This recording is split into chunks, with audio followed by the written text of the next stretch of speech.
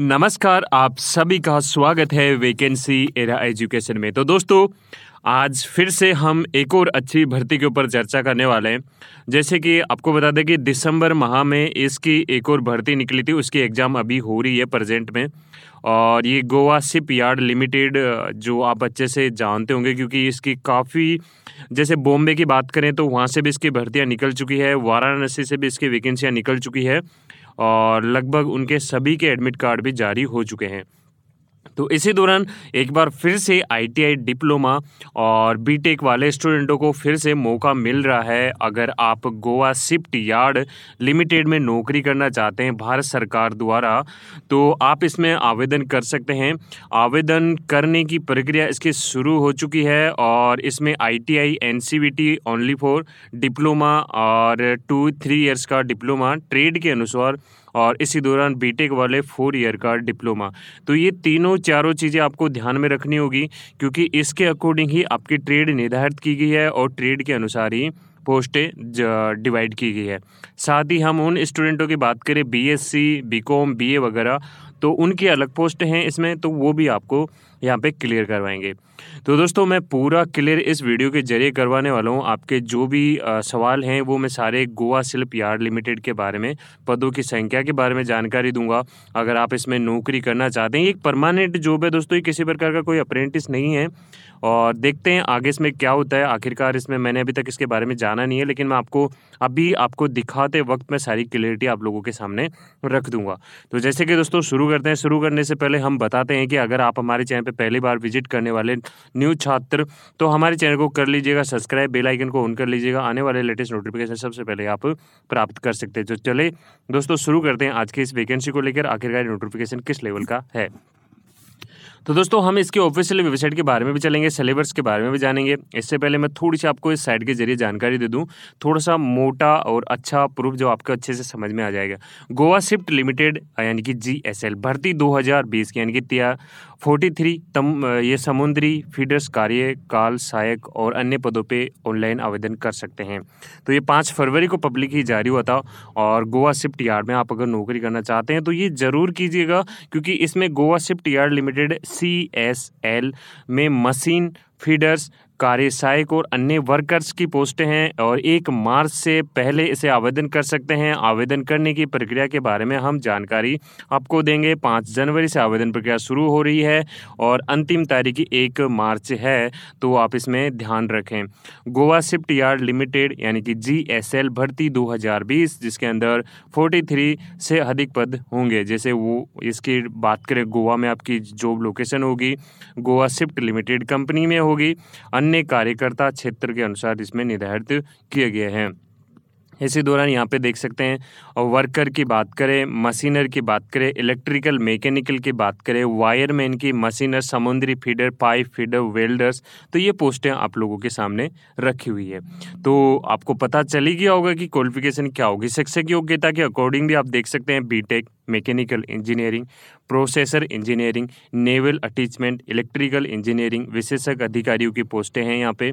और assistant manager की बात करें तो इसमें मैकेनिकल, इलेक्ट्रिकल, इलेक्ट्रॉनिक्स की पोस्टें हैं। इसमें आपको बीटेक वाले स्टूडेंट आवेदन कर सकते हैं। इलेक्ट्रिकल, मैकेनिकल की बात करें तो इसमें टू ईयर का आईटीआई मांगा गया है। आपके पास अगर किसी भी टू ईयर्स का आईटीआई है तो इसमें आप आवेदन कर सकते हैं। साथ ही इलेक्ट्रिकल के रूप में टू ईयर्स का अनुभव है तो वो भी आप इसमें लगा सकते हैं।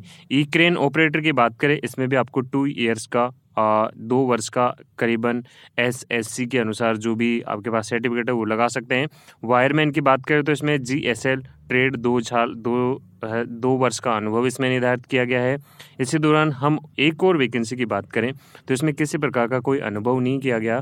इसमें N C T V T या फिर आई टी आई और मशीनर की पोट्रेड के अनुसार आपने की हुई है तो आप इसमें लगा सकते हैं। मशीनर फीडर की बात करें, यानी कि feeders general feeders machinist feeder ITI वाले एनसीवीटी वाले स्टूडेंट इसमें आवेदन कर सकते हैं। पाइप और पाइप फीडर की भी इसमें आईटीआई मांगी गई है वेल्डर्स में भी इसमें आईटीआई मांगी गई है। तो यानी कि आप कह सकते हैं कि करीबन चार पाँच पद हैं पोस्ट हैं, जिनमें सिर्फ़ और सिर्फ़ आईटीआई की डिमांड की गई है। बाकी में डिप्लोमा वाले स्टूडेंट आवेदन कर सकते हैं। तो दोस्तों ये इसके आवेदन प्रक्रिया की मैंने बात कर ली है। पाँच जनवरी से आवेदन कर सकते हैं आप और करीबन एक मार्च तक इसमें आवेदन करेंगे। इसी दौरान आप अगर इसमें आवेदन करना चाहते हैं तो कैसे करेंगे ये भी हम बताएँगे आपको।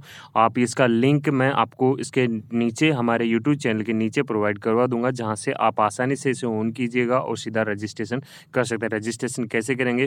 पहली बात तो जो पहली बार कर रहे हैं, वो तो यहाँ पर न्यू क्लिक पर क्लिक कीजिएगा, आपको वहाँ पर आवेदन हो जाएगा। साथ ही अगर आप विज्ञापन देखना चाहते हैं तो विज्ञापन यहाँ से देख सकते हैं। आवेदन की आवेदन यहाँ से कर सकते हैं। आवेदन अभी हो रहे हैं तो आप इसमें जल्दी से आवेदन कर लें। मैं आपको थोड़ा सा विज्ञापन के ऊपर जानकारी दे दूँ ताकि आप इसमें होने वाले जो भी एग्ज़ाम पैटर्न आपके एग्ज़ाम कैसे होगी और आपका सिलेक्शन प्रोसेसर कैसा होगा, ये भी थोड़ा सा इसके अकॉर्डिंग हम पता कर लेते हैं। एप्लीकेशन फ़ीस क्या होगी, सारी जानकारी यहाँ से थोड़ा सा दे लेते हैं। तो O B C S T category salary की बात करें, अस्सी हज़ार से बाईस हज़ार तक ग्रेड पे होगा। जर्नल एस टी कैटेगरीज के इसमें करीबन अड़तीस, सैंतालीस, ये आयु सीमा निर्धारित की गई है। ऑफिसरी असिस्टेंट की पोस्टें हैं, जिसमें O B C general S T और सैलरी यहाँ पे दी हुई है, करीबन पंद्रह हज़ार छः सौ से लेकर सत्तावन हज़ार तक सैलरी है। आयु सीमा की बात करें तो सैंतालीस, मैक्सिमम अड़तीस, तैंतीस अलग अलग पोस्टों के अनुसार से अलग अलग ही इसमें सॉरी यानी कि आयु सीमा दी हुई है। तो आप यहाँ पे ध्यान रखें, जैसे हम मैकेनिकल की बात करें, फीडर्स की बात करें तो यहाँ पे पंद्रह हज़ार रुपये सैलरी होगी, तिरपन हज़ार तक अट्ठारह से अड़तीस वर्ष तक के स्टूडेंट इसमें आवेदन कर सकते हैं, पोस्टों की संख्या। यहाँ पे जर्नल सॉरी, एसटी और जर्नल की दी हुई है। और मैं मशीनर फीडर की बात करें, एसटी और ई डब्ल्यू डी और एस जर्नल की यहाँ पे दी हुई है। एप्लीकेशन पाँच जनवरी से आप सभी करेंगे तो यहाँ पे आप देख सकते हैं अपने ट्रेड के अनुसार जो भी होगा, अपने ट्रेड के अनुसार ही आवेदन करेंगे। तो सारी क्लियरिटी मैंने आप लोगों के सामने रख दी है। अगर फिर भी आपके पास किसी प्रकार का सवाल, जवाब हो तो कमेंट बॉक्स में लिखिएगा, हम आपकी ज़रूर मदद करेंगे। तो दोस्तों, ये था इसका पूरा विवरण, पूरी सैलरी के अनुसार और सिलेक्शन प्रोसेस की बात करें तो यहाँ पर आप सिलेक्शन प्रोसेसर भी देख सकते हैं। इसमें दोस्तों लेवल वन के अनुसार आपकी एग्ज़ाम होगी और लेवल वन के अनुसार आप इसमें आवेदन करेंगे तो आप उसी के अनुसार सेलेक्ट हो पाएँगे। अब इसके एप्लीकेशन फ़ीस की बात करें तो दोस्तों एप्लीकेशन फ़ीस इसमें पाँच सौ रुपये हैं और ये जनरल कैटेगरीज के लिए पाँच सौ रुपये हैं, जबकि S C S T categories के लिए कोई प्रकार, किसी प्रकार का पेमेंट नहीं देना होगा। तो दोस्तों, ये था इसका पूरा विवरण। ऑफिशियल वेबसाइट का लिंक ये है। मैं आपको ये वाला लिंक नीचे प्रोवाइड करवा दूँगा, जहाँ से आप आराम से इसमें आवेदन कर पाएँगे। तो चलिए दोस्तों, ये है इसका विवरण। अगर ये आपको अच्छी लगी तो प्लीज़ आप इसमें आवेदन कीजिएगा और आपको यह हमारा वीडियो अच्छा लगा तो प्लीज़ इसे भी लाइक कर दीजिएगा शेयर कर दीजिएगा और किसी प्रकार की समस्या हो तो हम आपकी ज़रूर मदद करेंगे। थैंक यू दोस्तों। जय हिंद दोस्तों।